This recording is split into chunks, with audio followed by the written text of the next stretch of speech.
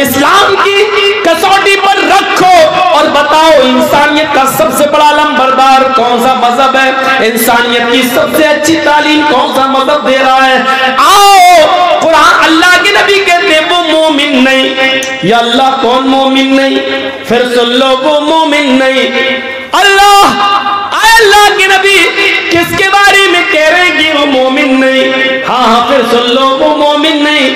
अल्लाह के नबी, बार बार क्यों कह रहे हैं? आप एक बार कह दें तो काफ़ी है। हम मुसलमान हैं। आपकी हर बात पर ईमान लाना हमारे लिए ज़रूरी है। एक बार कह दें तो काफ़ी है। आप तीन बार कह रहे हैं कि वो मोमिन नहीं, वो मोमिन नहीं, वो मोमिन नहीं। या अल्लाह, मेरे नबी तो वो है, एक बार कह दें तो हमारा ईमान लाना ज़रूरी है। और जिसको तीन बार कह रहे हो, उस बात की अहमियत कितनी ज़्यादा है? फरमाया, वो मोमिन नहीं मोमिन नहीं मोमिन नहीं। अल्लाह कौन मोमिन नहीं? फरमाया, जो खुद पेट भर के खाना खा ले और उसका पड़ोसी भूखा सो जाए वो मोमिन नहीं। पड़ोसी का लफ्ज आया है, ये नहीं कहा कि मुस्लिम पड़ोसी होना चाहिए। हिंदू भूखा मर रहा तो मरने दो, यहूदी भूखा मर रहा तो मरने दो, ईसाई भूखा मर रहा तो मरने दो, सिख भूखा मर रहा तो मरने दो, बुद्ध, बुद्धिस्ट भूखा मर रहा तो मरने दो, मुसलमान भूखा नहीं मरना चाहिए, ये नहीं कहा जा रहा है। तीन बार वो मोमिन नहीं, वो मोमिन नहीं। वो मोमिन नहीं। और सिर्फ़ ये नहीं मोमिन नहीं।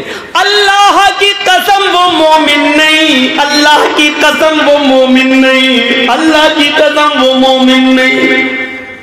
अल्लाह कौन मोमिन नहीं? फरमाया, वो मोमिन नहीं। जो खुद पेट भर के खाना खा ले और जिसका पड़ोसी भूखा सो जाए। पढ़ो तहज्जुदें, कितनी पढ़ना है? हाजी साहब हज करके आए। साठ, सत्तर, पैंसठ साल की उम्र हो गई। सऊदी अरब का रुमाल डाले हाथ रात में उठ के बुज़ुर्ग। सजदों पे सजदे ठोके चले यार पड़ोसी भूखा सो गया बेचारा। आपकी ज़िम्मेदारी थी बिस्तर पर सोने से पहले। आप अपनी बेटी को, आप अपनी बहन को, आप अपनी बीवी को पड़ोस में भेजते बातें बातों में आपकी बीवी बहन, बेटी, पड़ोसी की बहन, बेटी, बीवी, या छोटे छोटे बच्चों से पूछ लेती बेटे, तुम्हारे घर में क्या बना है? बच्चे झूठ नहीं बोलते। बच्चे अक्सर सच बोलते हैं, आपकी बीवी, आपकी बहन की ज़िम्मेदारी थी कि छोटे छोटे बच्चों से बड़े तो शर्मा भी जाएँगे। हमारे घर की पोल ना खुले, छोटे छोटे बच्चों से पूछा जाए बच्चों तुम्हारे घर में आज क्या बना है देखो, आज हमें भूख लगी है। हम खाना खाना चाहते हैं। इससे पता चलेगा उन बच्चों ने क्या खाया है। उन बच्चों ने क्या पिया है। ये तुम्हारी ज़िम्मेदारी थी। अल्लाह की कसम, तू तहज्जुद पढ़ता रहा। अल्लाह की कसम, रात में उठकर नफिल पे नफिल ठोंकता रहा सजदों पे सजदे ठोंकते रहा, रुकू पे रुकू करता गया, और तेरा पड़ोसी भूखा सो गया। चाहे वो हिंदू हो या मुसलमान सिख हो या ईसाई काबे के रब की कसम, तेरी तहज्जुद कबूल नहीं, तेरी इबादत कबूल नहीं, तेरी फ़र्ज़ और नफिल कबूल नहीं, क्योंकि अल्लाह के नबी ने कहा, वो मोमिन नहीं, वो मोमिन नहीं, वो मोमिन नहीं। इंसानियत का इतना बड़ा दर्श एक साहबी थे, उनके घर में चूहे बहुत हो गए थे। तो किसी से उन्होंने मशवरा किया कि भाई, मेरे घर में चूहे बहुत ज़्यादा हैं क्या करें? यार, कोई रास्ता बताओ। तो उन्होंने कहा, बहुत आसान रास्ता, एक बिल्ली पाल लो। उन्होंने कहा, यार, ये तो बहुत आसान रास्ता है। वो एक बिल्ली ले आए। और जब बिल्ली ले आए तो उन्होंने पाल ली। दूसरे दिन चूहे भाग गए सब। कोई चूहा ही नहीं है। अब वो सोच रहे हैं कि यार मेरी बिल्ली ने तो एक भी चूहा नहीं खाया है। चूहे तो रोज आते थे, मेरे कपड़े काट जाते थे, ये कर जाते थे, वो कर जाते थे, और बिल्ली ने एक भी चूहा नहीं खाया, ना मारा, चूहे भाग कहाँ गए? दूसरे दिन उन्होंने बिल्ली खत्म कर दी। भले मारी नहीं है, बिल्ली को छोड़ दिया, चली गई। किसी ने पूछा कि तुमने बिल्ली चूहे फिर आ गए? पूछा कि भाई तुम तो बिल्ली ले आए थे, फिर क्या हुआ? मैं बिल्ली ले आया था, बिल्ली ने एक भी चूहा मारा नहीं, चूहे भाग गए। बिल्ली को फिर मैंने इसलिए घर में नहीं पाला क्योंकि मेरे चूहे भागकर पड़ोसी के यहाँ चले गए थे।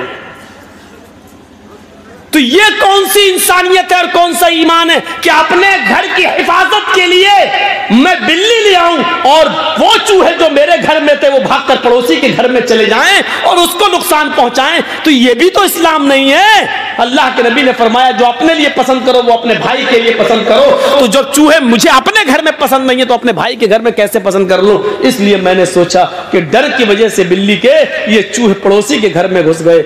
पड़ोसी को सताना भी अच्छा नहीं है। उन्होंने कहा, बिल्ली को हटा दो, मेरे चूहे। मुझे नुकसान पहुँचाए पहुँचाए, लेकिन पड़ोसी को नहीं। इतना एहसास किसको होता है?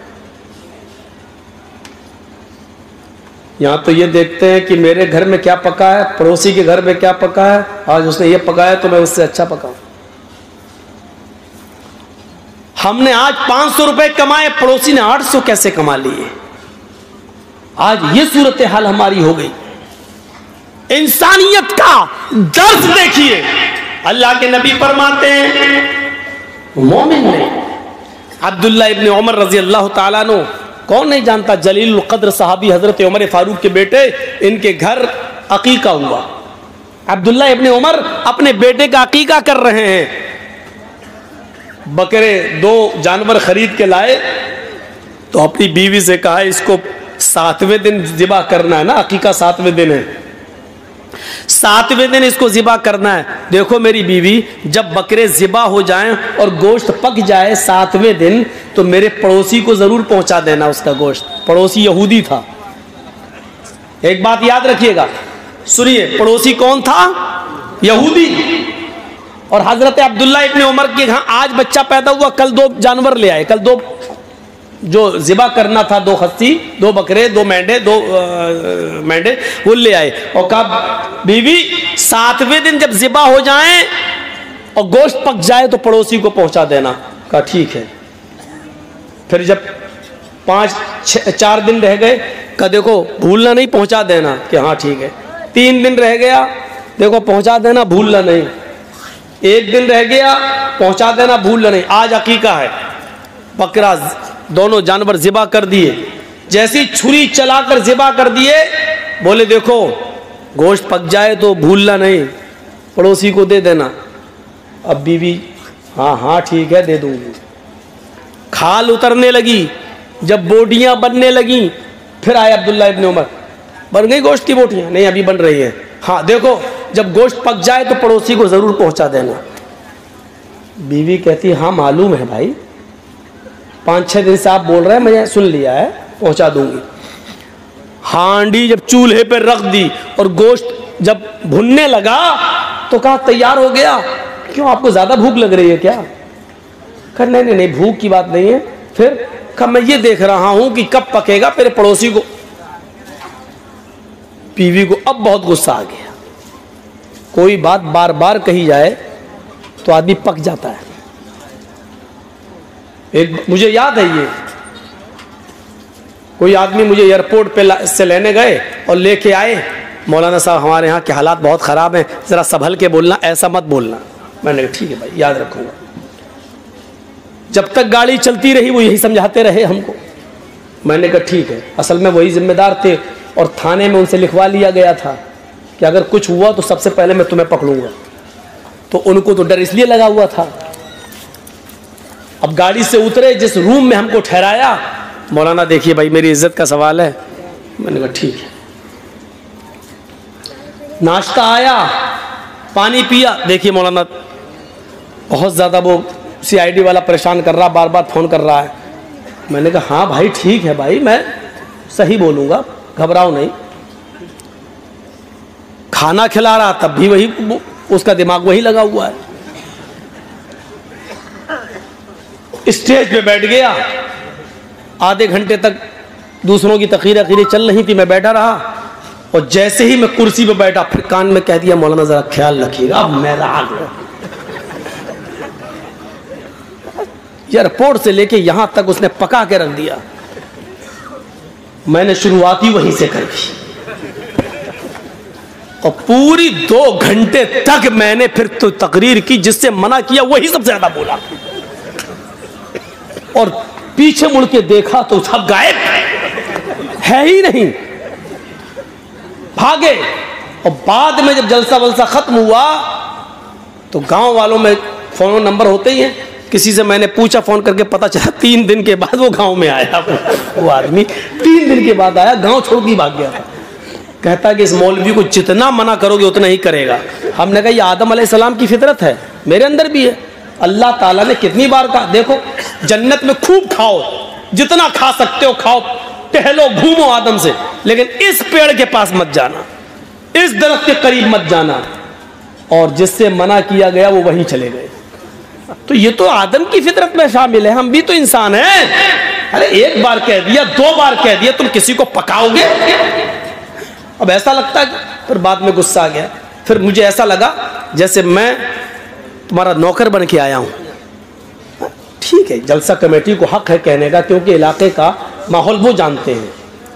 बिल्कुल हक है उनको कहने का, लेकिन एक बार अक्लमंद आलिम वो है जो एक बार कह दिया जाए, वो समझ जाए और उसको अपने हिसाब से फिर बोलना है।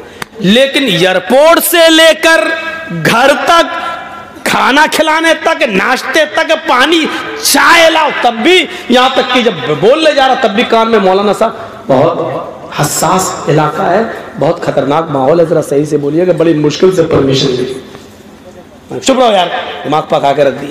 फिर हम वहीं से बोलना शुरू कर तो बीवी को बार बार कहा, जानवर लाए तो कहा, छह दिन पहले कहा, पाँच दिन पहले कहा, चार दिन, तीन दिन, दो दिन, एक दिन, जिबा हो गया उस दिन भी, बोडियाँ बन रही उस दिन भी। जब चूल्हे पे पकने लगा तो कहा, ज़्यादा भूख लग रही है आपको। कहा, मुझे नहीं पक रही हमें पड़ोसी की फ़िक्र है। अरे, मैंने सुन लिया। बार बार पड़ोसी पड़ोसी। अरे, मुझे मालूम है, पकने तो दो, ऐसी दे दू कच्चा क्या? अरे, मेरी बीवी मुझ पर क्यों बरस रही हो? कब बरसूँगी नहीं, सात दिन से वही पकाए चले जा रहे पड़ोसी पड़ोसी पड़ोसी पड़ोसी। तो जानते हो अब्दुल्ला अपने उमर ने क्या जवाब दिया? मेरी बीवी तो मेरा गुस्सा होना बजा है। जो आदमी बार बार कुछ बोलेगा तो मैं गुस्सा आएगा।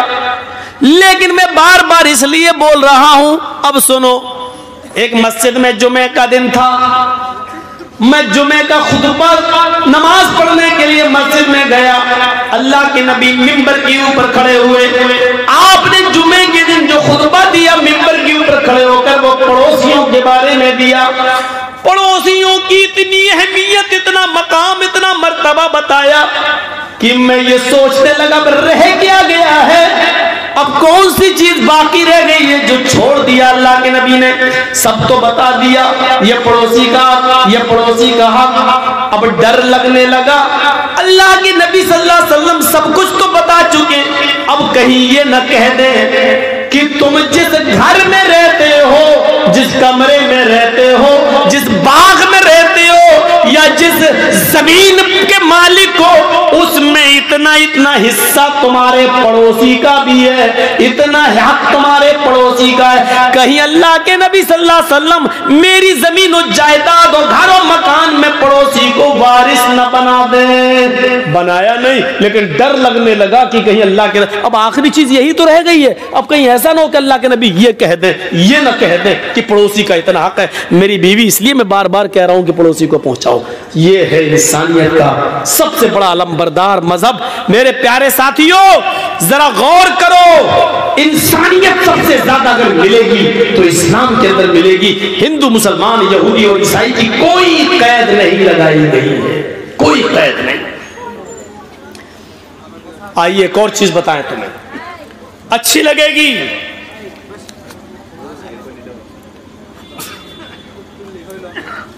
आप मुझसे कर्ज मैंने आपसे कर्ज लिया हो। भैया, कहाँ जा रहे हो? ज़्यादा उठा बैठा मत करो सामने से। मैं ठीक है, उधर से निकल जाए। एक तो वैसे हम इन कैमरे वालों से परेशान हैं। तो मौलाना जर्जी साहब ने आपसे कर्ज लिया है। बीस हज़ार रुपये पचास हज़ार रुपये और कहा एक हफ़्ते में हम आपको दे देंगे। और आपने एक हफ़्ते के लिए हमें दे भी दिया।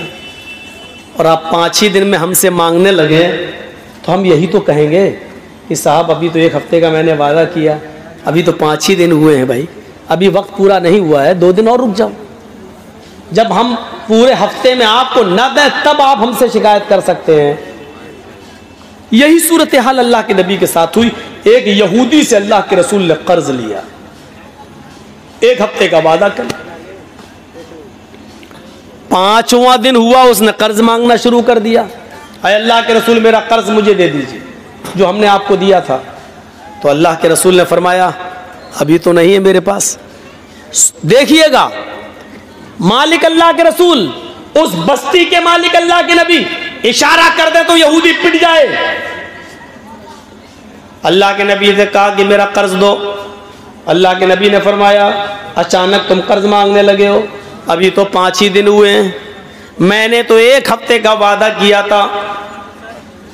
उसने कहा, ठीक है, मैंने एक हफ़्ते का वादा किया था आपने। अगर मुझे आज ही ज़रूरत पड़ गई है तो मैं क्या करूँ? मुझे आज ही चाहिए। अल्लाह के रसूल सल्लल्लाहु अलैहि वसल्लम फरमाते क्या आज तो आनंद फानंद में कर नहीं पाऊँगा। इतनी जल्दी मेरे पास इंतज़ाम कैसे हो सकता है? तुमने तो अचानक मेरे सामने अपने कर्ज के लिए हाथ फैला दिया। उस यहूदी ने गुस्से में कहा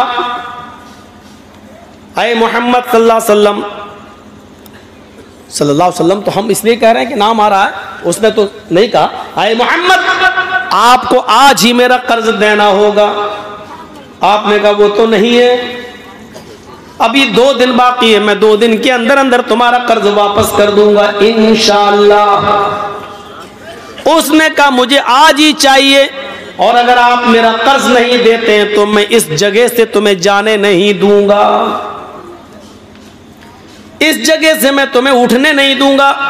इमाम बैहकी अपनी सुनन के अंदर इस रिवायत को लाते हैं, सुनन बैहकी की रिवायत। अल्लाह के नबी कहते हैं, फिर तुम्हारी मर्ज़ी। अगर तुम मुझे इस जगह से जाने नहीं देते हो तो मैं इसी जगह बैठ जाता हूँ। अपने सर से अमामा उतारा और उसी जगह पर अल्लाह के नबी बैठ गए। बिछाया और बैठ गए। वो यहूदी भी बैठ गया। जुहर की अदान का वक्त होता है। अल्लाह के रसूल फरमाते हैं, यहूदी, मुझे इतनी देर के लिए मोहलत दे दे कि मैं मस्जिद में जाऊँ और नमाज़ पढ़कर वापस आ जाऊँ और इस जगह पर बैठ जाऊँ। उस यहूदी ने कहा, मेरा कर्ज दे दो और शौक से नमाज़ पढ़ दे जाओ। और अगर नहीं देते हो तो मैं नमाज़ पढ़ने के लिए भी आपको यहाँ से उठने नहीं दूँगा। आपने जोहर की नमाज़ वहीं पढ़ी, असर में भी इजाज़त नहीं दी, असर भी वहीं पढ़ी, मगरिब भी वहीं पढ़ी ईशा भी वहीं पढ़ी। रात भर भी उसने उठने नहीं दिया। आपने पूरी रात वही गुजारी, फजर की आजान की आवाज़ आई, आपने फजर भी वही अदा की। सूरज निकलने तक आप वहीं रहे। जब सूरज निकल गया और काफ़ी बुलंद हो गया, तब वो यहूदी अल्लाह के नबी सल्लल्लाहु अलैहि वसल्लम के करीब आकर बैठता है और कहता है, मोहम्मद सल्लल्लाहु अलैहि वसल्लम, मैं आपसे कर्ज नहीं मांगना चाहता था। न मेरा इरादा था कि कर्ज मांगा जाए, बल्कि कल ही मैंने अपनी किताब तौरात को पढ़ा था। कल ही मैंने अपनी किताब तौरात को पढ़ा था उस तौरात में लिखा था कि आखिरी नबी जो आएगा वो बड़ा हलीम और बुरदवार होगा।